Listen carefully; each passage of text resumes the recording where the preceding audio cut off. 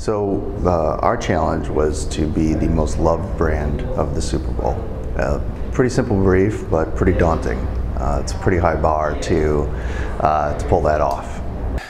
It's a Tide ad.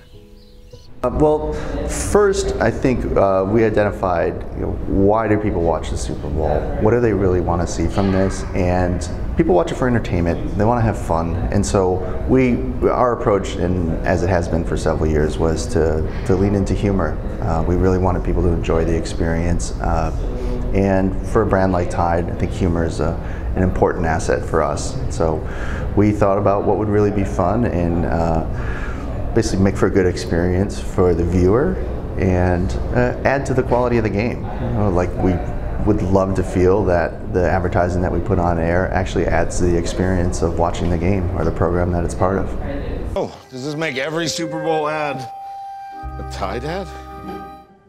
Well, we we've approached the Super Bowl for several years now the same way, where buying an ad in the Super Bowl game um, is only one small part of what you're really what you're really buying and doing. And so to do a Super Bowl ad, we look at multiple facets of like what's at our disposal if we're buying an ad to make the whole program work.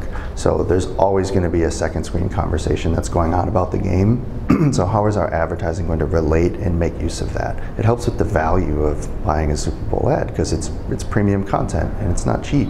And so when we when we interrogate an idea, we look at it for how does this live beyond simply being a 30 second or a 60 second spot. We look at what is the conversation that it's going to start in other media, and are we really using everything that we might have access to to really get the value out of our Super Bowl ad.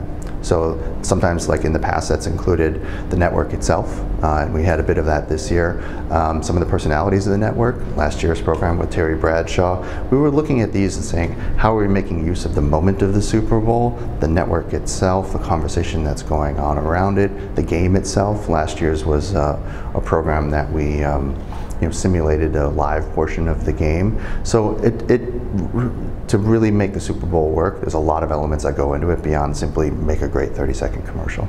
The, the decision to move past the stain really came with the idea in this. It was not strategically briefed to let's not you know, let's not focus on the stain. It came with the idea in this, but we recognize the large potential of it. Uh, it's the core benefit of what Tide delivers is clean clothes, and so embracing that felt like it fits naturally with what we do. So once we were at the stage of the idea, everybody was on board. It feels like it. Uh, it relates to the stain by the absence of them, and so it felt like an easy next step for us to take.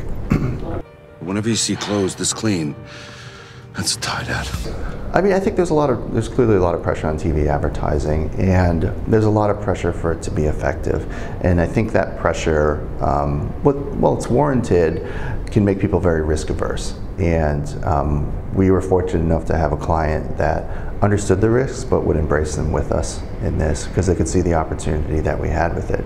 And so I think you know what's what's driving you know the change in television advertising is certainly all of the fragmentation of media, but then you know I don't think people take as big of risks anymore as they used to on TV. And when you're able to take the risk, um, a good calculated risk, it can really pay off and break through. I think that's what we were able to capitalize on.